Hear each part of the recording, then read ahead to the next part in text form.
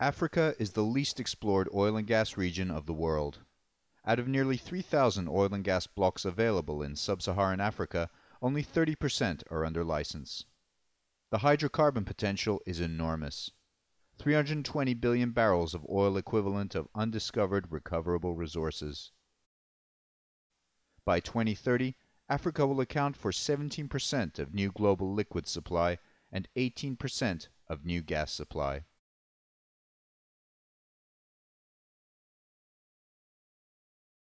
In recent years, Africa has been the dominant leader in oil and gas discoveries.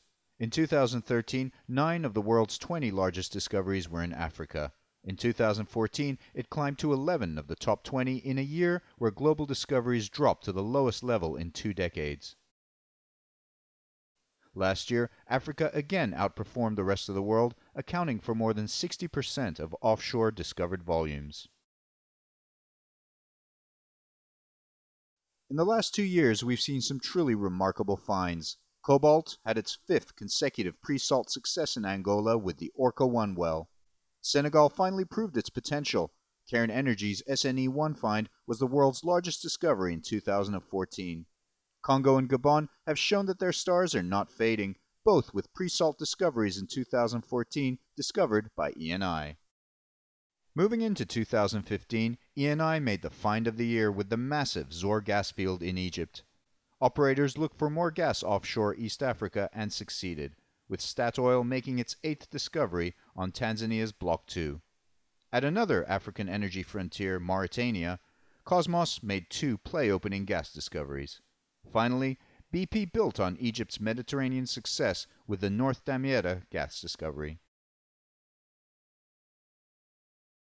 As a frontier for oil and gas exploration, Africa's surface has only just been scratched. The drilling activity pales in comparison to the resource potential still present. Africa accounts for just 5% of the international rig count, less than any other continent. But with oil prices down, Africa is struggling to attract capital. Below $50 a barrel, only a third of $270 billion of potential projects in Africa are economical.